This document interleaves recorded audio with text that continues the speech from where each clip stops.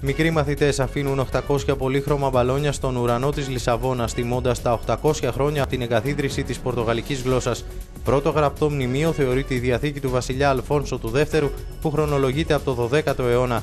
Σήμερα 250 εκατομμύρια άνθρωποι σε ολόκληρο τον κόσμο μιλούν πορτογαλικά.